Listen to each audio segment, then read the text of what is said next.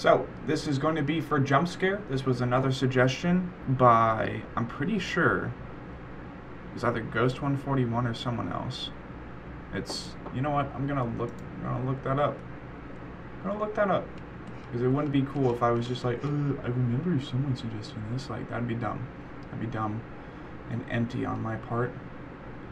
I don't, like, I haven't been been able to find it, though. I've tried to look for it before. It might be on Facebook. Who knows?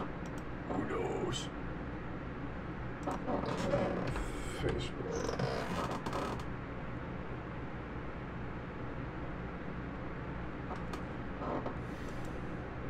It is getting stuffy as hell at the moment. sucks.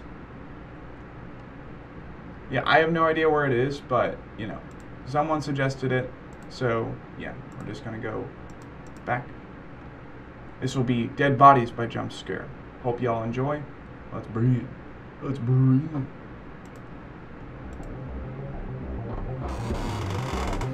Ooh, Italian melodic death metal. That sounds fun.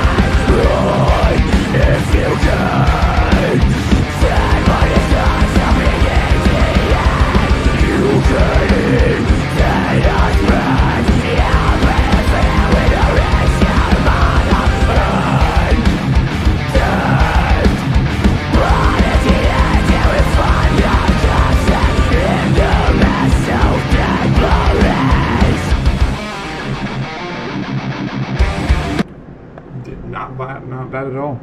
Not bad at all. Pretty into this, and uh, like, no offense to these guys, but by all means, but definitely like crabcore vibes. You know, like all the freaking like swoopy hair and all that. But it's cool. It's really rad.